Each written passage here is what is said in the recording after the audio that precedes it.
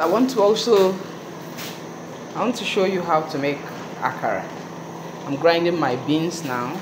I've grinded my onion. I still have sliced onion. This is the grinded beans that I've made.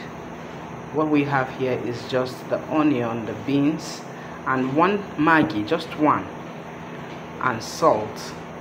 So we mix well, then this is what it looks like. I've not mixed, I'm still grinding. So I just want to make akara as much as I make my beans. So the difference is this one has more ingredients. This one is going with Maggi, crayfish, uh, uh, eggs. My eggs are on fire. Yes. Salt, Maggi, pepper, and the rest. While this one is going with just a few items and very little items because beans has a natural taste. So in a bit we'll fry it and you'll see how we would achieve akara and moi moi. I just want to fry akara today so that I can teach someone how to fry akara. So today we're frying akara and we're doing moi moi in the same vein. Stay tuned. So we're about to begin our akara. It's a mixture of garlic, onion, pepper, beans. That's it. Like this.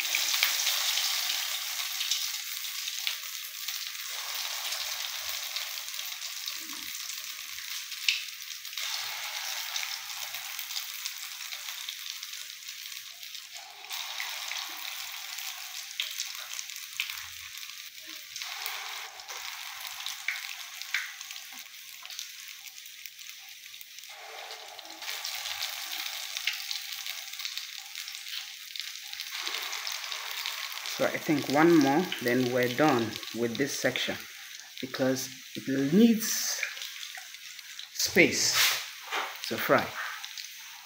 You see needs space to fry. That's it. This is not a beans for moi moi by the way. So remember there is actually a beans for moi moi.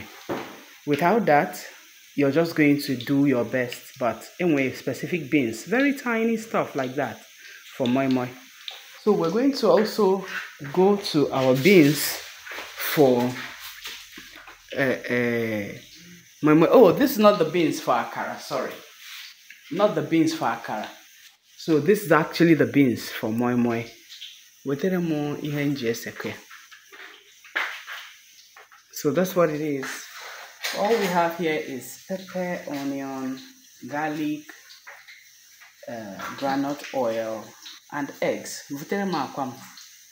And eggs. So mix it all up, tie them up, and then put them in the pot. That's it. So here.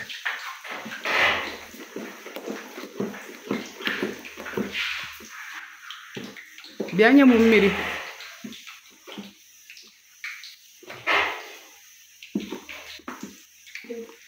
Mmiri o oh.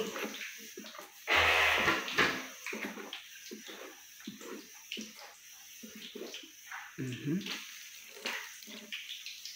great. Ngwa tọọnụ akara ndụ n'ọkụ. So the akara will be turned in a bit.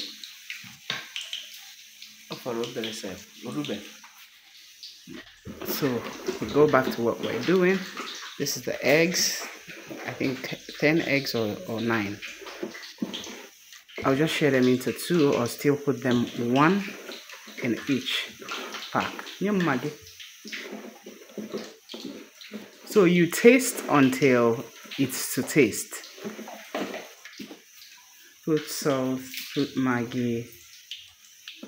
There's already crayfish and onion and that's it.